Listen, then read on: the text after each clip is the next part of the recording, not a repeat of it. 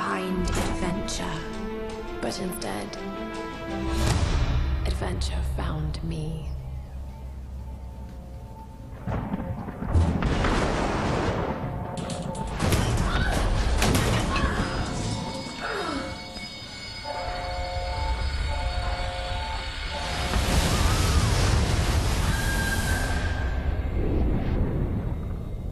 In our darkest moments, when life flashes before us, we find something.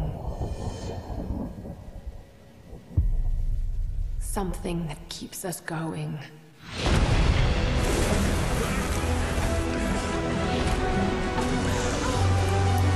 Something that pushes us.